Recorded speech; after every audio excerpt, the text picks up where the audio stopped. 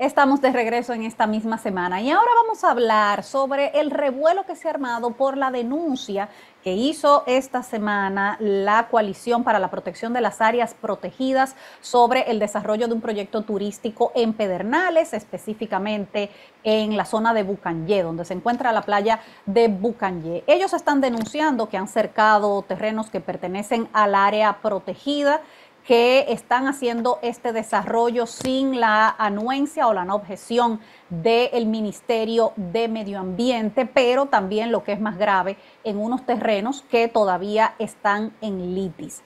La empresa también dio una entrevista al periódico Diario Libre a través de su representante legal, el abogado Salvador Catrén, en el que aseguran que lo que ellos han hecho es comprarle los títulos a los que eran, a los que eran adquirientes o a los que lo tenían, pero que todo esto tiene el mismo origen de Bahía de las Águilas cuando se hizo esa reforma agraria, falsa reforma agraria, para cogerse esas tierras.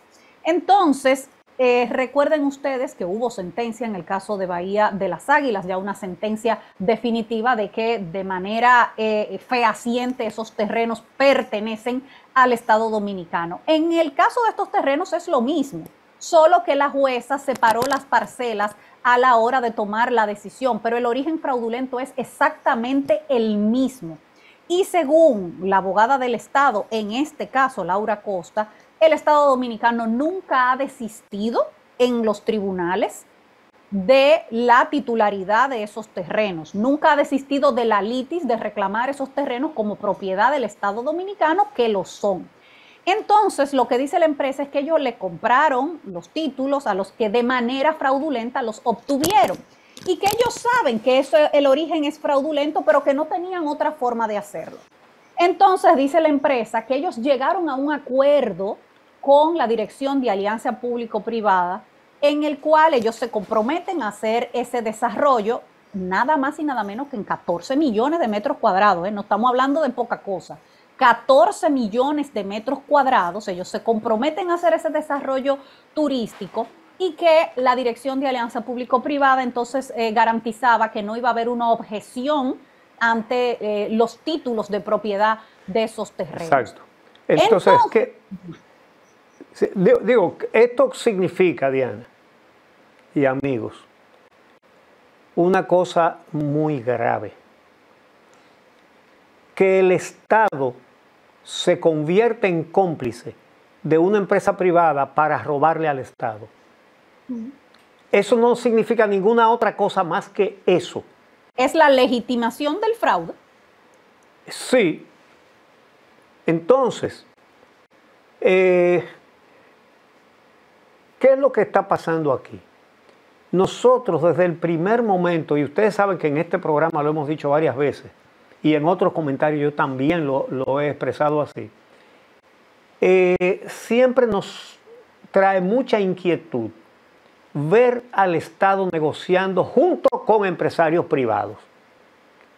El, Estado no está para eso. El Estado debe ser el árbitro de todo el mundo y no una parte de un grupo que además tiene intereses y que muchas veces esos intereses entonces se oponen a los intereses del Estado y a los intereses de la población. El Estado no tiene que buscar nada haciendo negocio junto con empleados privados, pero aquí se está llegando a un colmo. Esto tiene toda la gravedad de una complicidad entre un órgano del Estado y un grupo de vivos que no se le puede llamar de otra cosa.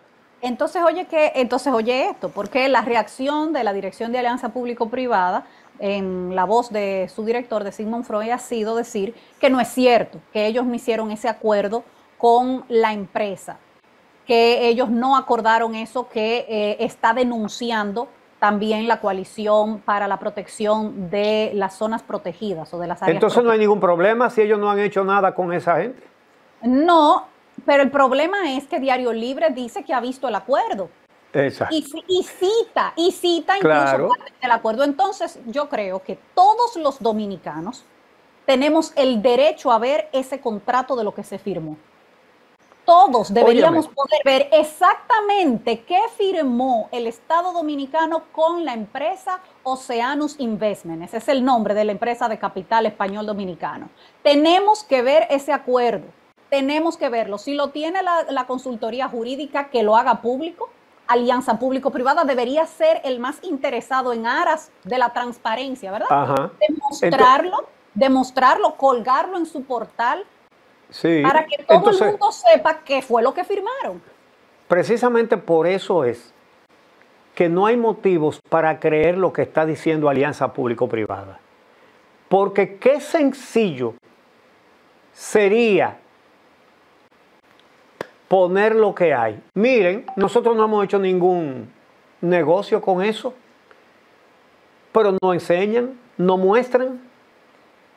Por lo tanto, dejan todo el terreno para que se entienda que un órgano del Estado está haciendo un negocio junto con una gente que se quiere coger lo ajeno. Y en este caso, lo ajeno es del Estado.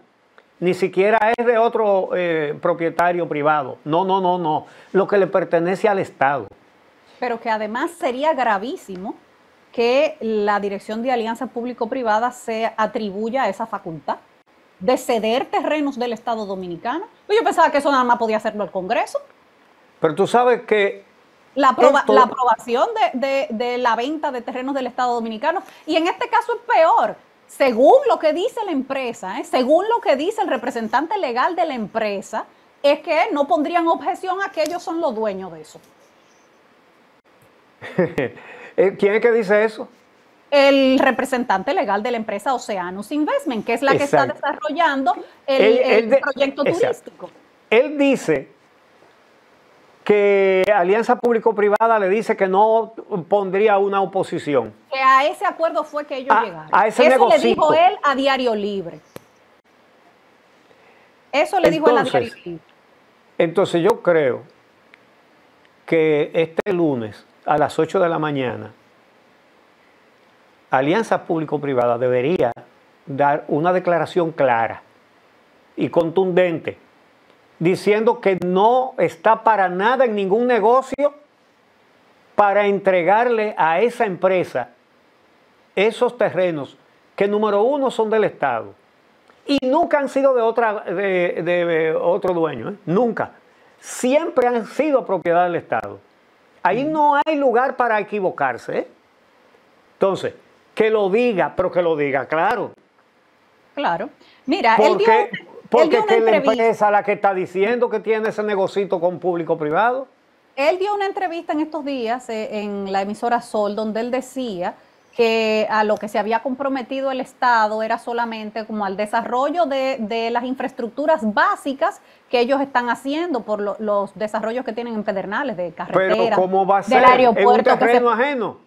Del, del, aeropuerto, no, no, lo que está haciendo el Estado, las carreteras, el aeropuerto que se ah, piensa hacer, pedernales. Ajá, exactamente, el, acueducto, ajá, acueducto, pero tú sabes que siempre viene la manipulación de que si alguien critica algún tipo de transacción de este tipo porque no quiere el desarrollo de Pedernales. Ah, y ya como dice ahora el síndico. y ya lo han dicho también. El tema no es que que no se desarrolle turísticamente. Primero, si se va a hacer es cumpliendo con la normativa de lo que, lo que se permite en ese tipo de área protegida. ¿eh? Eso es lo primero, respetando lo que se puede hacer. Pero segundo, bajo la premisa de que esos terrenos son del Estado dominicano. Y en una alianza público-privada, eso sería lo que aportaría el Estado, los terrenos. Pero no para regalárselo a alguien, no para dárselos a un tercero, no, pero además es que el mismo Ministerio de Medio Ambiente, que hay que decir que ese sí ha mantenido su coherencia y su claridad, ha dicho que, eso, que ahí no se puede hacer nada, que esos terrenos son áreas protegidas. Bueno, eh, eh, se suponía que se supondría que para poder hacerlo deberían tener una objeción, una no objeción del Ministerio de Medio Ambiente que no la han obtenido. El Ministerio de Medio Ambiente no ha dado la no objeción para eso. Exactamente. Y yo me atrevo a decir que no se la van a dar. Mira, yo creo, porque no creo que se puede esperar ese escándalo de esas autoridades. Ahora, eh, esto el lunes debería estar claro. yo creo que el que debería hablar sobre este tema es el presidente. Yo creo que el presidente Luis Abinader debería darle garantías al pueblo dominicano de que se va a respetar el área protegida, pero además de que el Estado dominicano no va a renunciar a lo que le pertenece, que no va a legitimar un fraude y que no va a dejar que nadie se coja lo que es patrimonio del pueblo dominicano. Bueno, la verdad es que qué preocupante es que se estén mezclando en, una tentativa como esta entidades oficiales. Y esperamos, que el, esperamos que el lunes quede todo eso claro. Sí, repetimos, que se haga público el acuerdo. Que el acuerdo que se firmó se haga público. Queremos saber con punto y coma a qué se comprometió el Estado Dominicano. Pero además, que la, además que la empresa comenzó a majaretear eso en el gobierno pasado. Ellos hace tiempo que están en eso, sí. Eh, sí, y entonces en este gobierno van a encontrar lo que no encontraron en el gobierno pasado.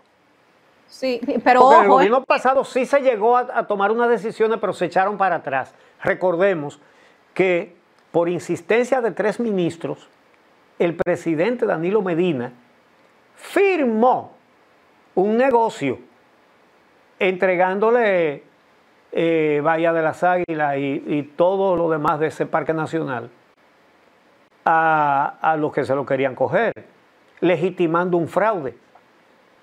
Pero a comentarios de la prensa, y particularmente, bueno, lo voy a decir claro, eh, no fui el único que habló de eso, pero eh, hice un comentario advirtiendo al presidente que tendría que arrepentirse en su futuro si autorizaba una cosa de esa categoría. Ya él lo había firmado y, lo echó para atrás y nos invitó a una docena de periodistas a, una reunión en el Palacio Nacional donde puso a los ministros que eh, promovían eso a explicarnos.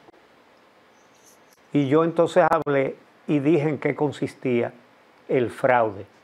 Y que cualquier cosa que se hiciera con eso era avalar un fraude contra el Estado. Y ahí se desbarató el negocio. Recuerdo que, Osvaldo Santana habló muy bien también en esa reunión que hizo las mismas advertencias.